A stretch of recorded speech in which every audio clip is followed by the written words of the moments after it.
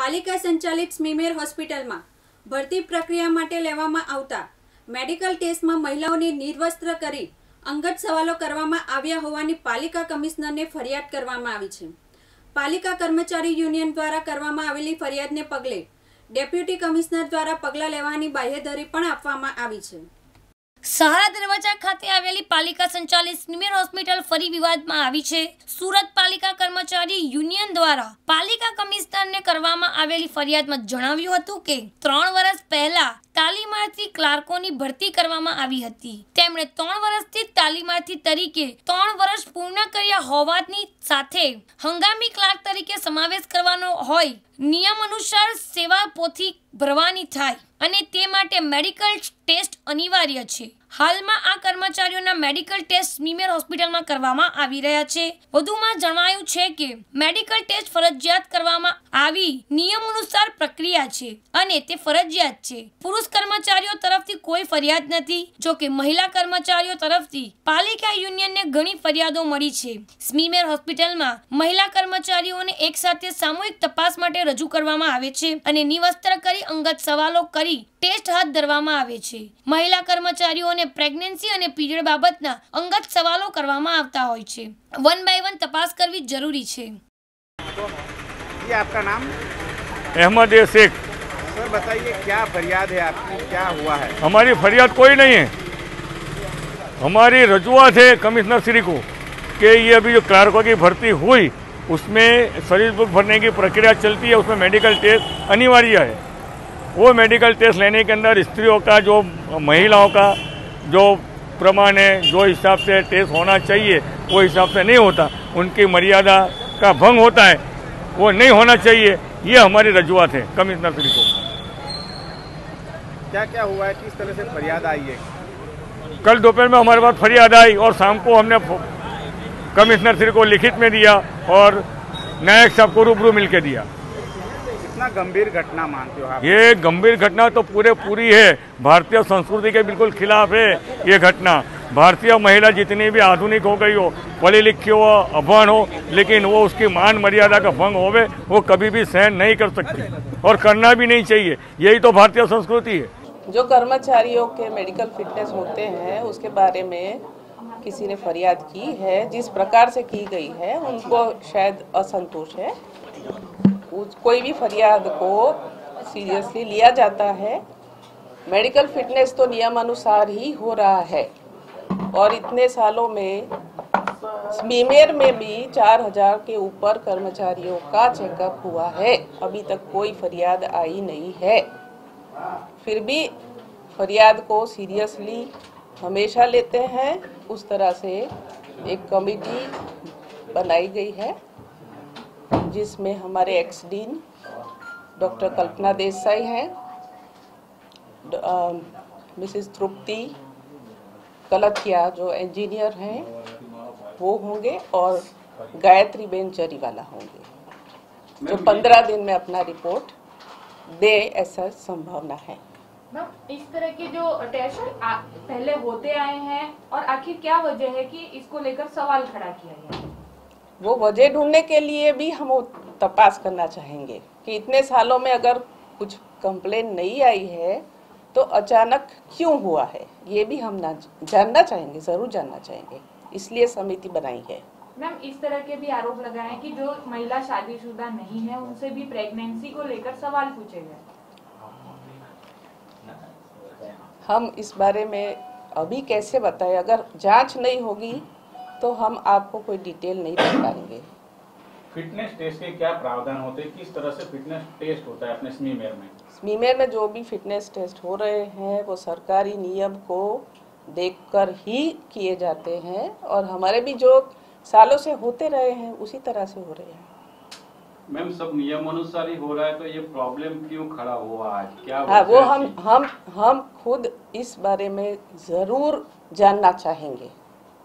और ये समिति के रिपोर्ट पर आगे बात होगी।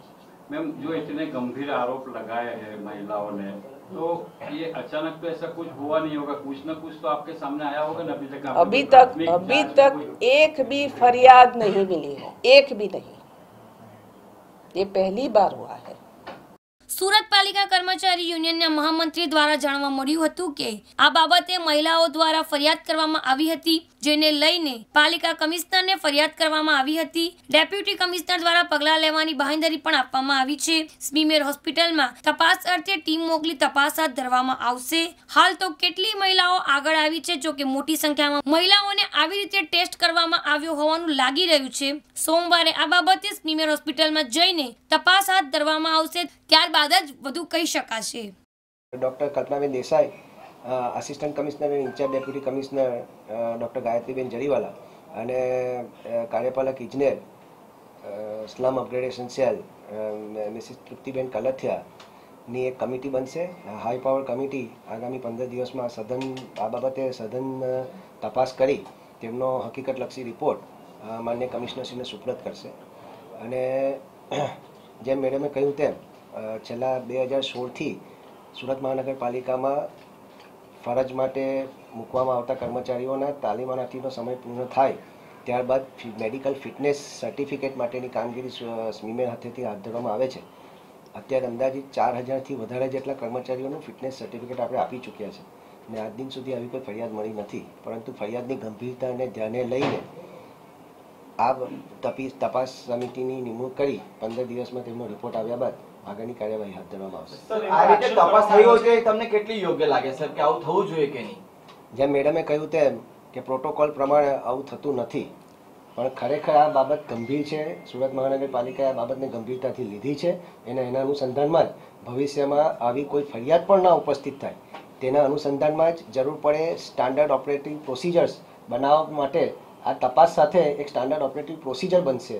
એસઓપી જેને કહેવાય કે જે ભવિષ્યમાં આવા કોઈ પણ અનિચ્છનીય ફરિયાદો ઉપસ્થિત ન થાય તેનું પણ અમને ગાઈડલાઈન સાથે આપશે. શું આગળ ફરિયાદ આવી મળી રીતના જશે કોઈ પણ ટેસ્ટ થયા છે ખરી? એક મેડિકલ પ્રોટોકોલ છે ફે મેલ અને ફિમેલ માટે તો તે મેડિકલ ફિટનેસ સર્ટિફિકેટ સંદર્ભે જે પ્રોટોકોલ નક્કી કરવામાં આવતા હોય છે તો તે પ્રમાણે ટેસ્ટ હાથ ધરવામાં આવતી છે? પ્રેગ્નન્સી ટેસ્ટ થયા છે તો શું કહેશો? મેં ફરી આપને કહ્યું કે આ બાબતે ઝીણવટભરી તપાસ આ જે ફરિયાદો આવી છે તેમાં કઈ વ્યક્તિને થયું છે તે એનોનિમસ રાખવાની જરૂરિયાત છે સ્વ- સ્વાભાવિક છે પરંતુ ખરેખર શું ઘટના ઘટી છે? કઈ દિવસે ઘટી છે તે યુનિટ હેડની જે તે વિભાગીય વડાની? સાથે એક અ, ચર્ચા કરી અને કમિટી એમાંથી નિર્ણય લેશે अ, जो असरग्रस्त मानी जाती है वो बहनों के द्वारा उनके यूनियन के लीडर्स को अ, की गई और यूनियन के द्वारा एक पत्र के जरिए ये म्यूनसिपल कमिश्नर श्री को अ, जो कंप्लेन की गई है अ, वो कंप्लेन अ, इसमें जो चीज़ें लिखी है उसके मुताबिक ये काफ़ी सीरियस है लेकिन ये जो घटना बनी है उसमें बात ऐसी थी कि जो महिला क्लार्क जो ट्रेनी पीरियड ख़त्म करके परमानेंट किए जाने पर उसकी सर्विस बुक बन रही है, उसमें जिस काम के लिए उसको परमानेंट किया जा रहा है, वो काम करने के लिए वो फिजिकली फिट है या नहीं, वो तभी भी परीक्षण करके उसमें नोट करना रहता है।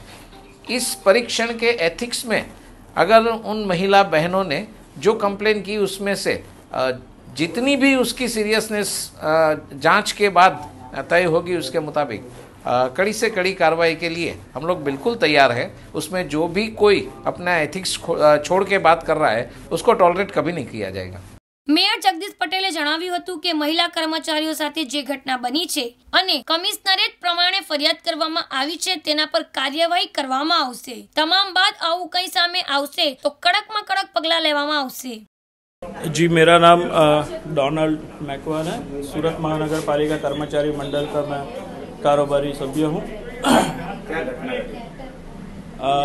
ये जो मेडिकल टेस्ट जो हो रहा है अभी अ, हमारे सूरत महानगर पालिका कर्मचारी जो है महिला कर्मचारी पुरुष कर्मचारी सबके मेडिकल टेस्ट हो रहे हैं। लेकिन महिला कर्मचारी के जो टेस्ट हो रहे हैं उसमें हमें कुछ ऐसी कंप्लेंट्स मिली है जो गंभीरता से लेनी चाहिए और उसमें वो जो मेडिकल टेस्ट में और कोई दिक्कत नहीं है, खाली गायनिक डिपार्टमेंट में कुछ तकलीफ़ है। वो लोग कुछ उस तरह से प्रेगनेंसी टेस्ट वगैरह करवा रहे हैं, जिसमें कुंवारी कर्मचारी भी सब आ जाती है। और ये मेरे ख्याल से ये जो क्वेश्चंस है, ये जो टेस्ट हो रहे हैं, वो मेरे ख्याल से बंद हो जाने चाहिए। और उसके अलावा जो और कुछ भी है, वो टेस्ट उनके हिसाब से बराबर है बाकी ये टेस्ट बंद कर देना चाहिए यही हमारी डिमांड है કમિશનરના જણાવ્યા મુજબ સામૂહિક રીતે તપાસ કરવી ગેરકાનૂની જ નથી પરંતુ માનવતા વિરુદ્ધ અને કુદરતી ન્યાયના સિદ્ધાંત વિરુદ્ધની પણ છે જે પ્રક્રિયા તાત્કાલિક બંધ કરવા અપીલ છે કેમેરામેન સાબિર સૈયદ સાથે મુકેશ ગુરવ દિવ્યાંગ ન્યૂઝ સુરત